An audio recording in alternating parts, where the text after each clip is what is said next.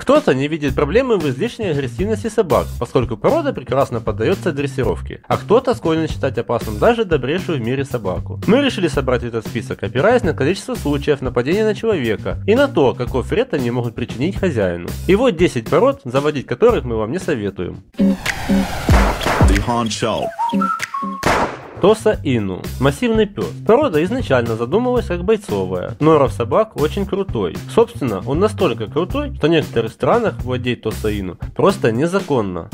Бультерьер. Эта порода печально прославилась своим непредсказуемым нравом. Бультерьер даже после дрессировки может напасть на своего хозяина. Что уж говорить о людях незнакомых. Родезийский риджбек. Собачка из Южной Африки была выведена только с одной целью – отгонять львов от убитой хозяином добычи. Риджбек очень умный и преданный пес, однако ужасно реагирует на незнакомых людей. Нужно проявлять стойкость и уверенность при дрессировке. Лишний окрик вполне может стоить горлопану куска руки. Канарский дог. Это большая собака, предназначенная для работы со скотом в поле. Канарский дог требует ранней стерилизации и постоянной дрессировки. В противном случае характер собаки будет очень агрессивен. Американский бульдог. Тяжелая, неповоротливая собака. Они известны своим дружелюбием, однако обольщаться не стоит. Врожденное упрямство может заставить собаку напасть даже на своего хозяина. А почему? Мол, ты не отдаешь мою любимую игрушку.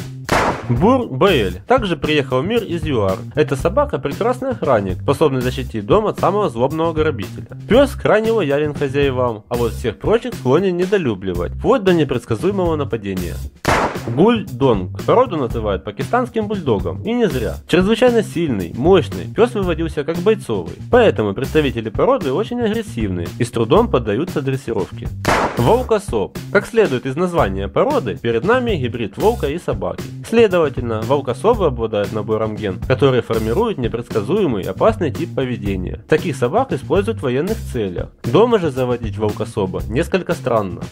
Доберман. Прославленные своими умственными способностями, умением к выслеживанию и бойцовскими качествами, доберманы все же не самая лучшая собака для охраны семьи. Агрессия добермана непредсказуема и вполне может обратиться против хозяина. Питбуль. Первоначально питбуль предназначался для травли быков и медведей. Представляете, на что способна эта порода? Считается одной из самых опасных пород собак. По всему миру питбули используют на собачьих боях. И напоследок народная мудрость. Даже если вам кажется, что хуже уже некуда, всегда случится что-то, показывающее, как вы ошибались. Ставим лайки, подписываемся на канал, рассказываем друзьям и всем спасибо.